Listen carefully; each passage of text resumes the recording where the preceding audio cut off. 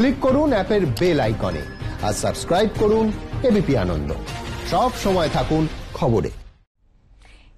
এরই মধ্যে ভালো খবর মুর্শিদাবাদ থেকে কলকাতায় এলেন তিরিশ জন করোনা জয়ী। মুখ্যমন্ত্রী ঘোষণা করেছেন করোনা জয়ীরা কোভিড হাসপাতালে গিয়ে আক্রান্তদের সাহস যোগাবেন সেবায় নিয়োজিত হবেন। সেই মতোই মুর্শিদাবাদ থেকে আসা করোনা জয়ীরা কলকাতার বিভিন্ন কোভিড হাসপাতালে রোগীদের সেবায় নিয়োজিত হবেন।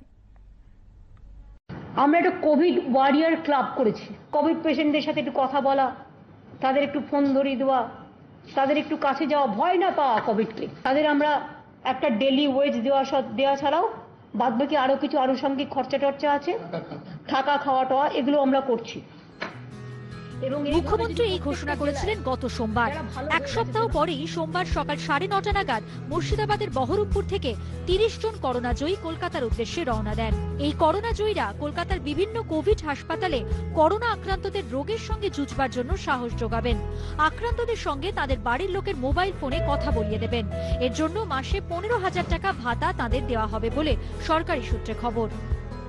প্রত্যেকেই এই মুহূর্তে মুর্শিদাবাদ থেকে কলকাতার পথে রওনা দিচ্ছেন এবং তাদেরকে এই মুহূর্তে সম্বর্ধনা দিয়ে কলকাতার আরও রোগীদেরকে সুস্থ করার জন্য, মনোবল বাড়ানোর জন্য পাঠানো হচ্ছে। তিরিশ জন করোনা জয়ীর মধ্যে একজন সহদেব মার্জিদ তিনি পরিযায়ী শ্রমিক।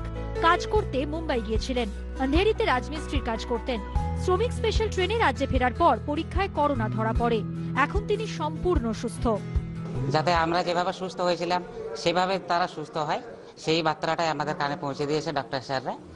সেটাই আমরা করতে গেছি গত সাতাশে জুন তৈরি হয়েছিল মুর্শিদাবাদ কোভিড ওয়ারিয়ার ক্লাব। সেই ক্লাবের উদ্যোগেই তিরিশ জন করোনা জয়ীকে কলকাতায় পাঠানো হলো। বহরমপুর এসপি অফিসের সামনে এদিন সকালে করোনা জয়ীদের সংবর্ধনাও দেওয়া হয়। কি গাইডলাইন্স আছে কি ইনস্ট্রাকশন আছে সেটা যারা যাচ্ছে ওদেরকে ওখানে দেওয়া হবে। ওই ইনস্ট্রাকশন মেনে আজকে আমরা ওদেরকে এখান থেকে কলকাতা পাঠাচ্ছি। ডক্টর রায়ের সাথে যাচ্ছে আমাদের পুলিশের লোক সাথে যাচ্ছে। আমি ডিআইজি সাহেব এবং এসপি সাহেব যে কীভাবে এদেরকে কিছু করা যায় কিনা কিন্তু এটা যে এত ভালো একটা জায়গায় পৌঁছবে আমরা নিজেরাও ভাবতে পারিনি। খুবই ভালো লাগছে দেখা যাক এখন যে সব ভালো যার শেষ ভালো তার।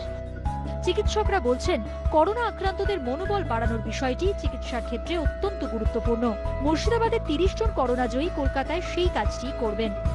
রাজীব চৌধুরীর রিপোর্ট এবিপি আনন্দ মুর্শিদাবাদ।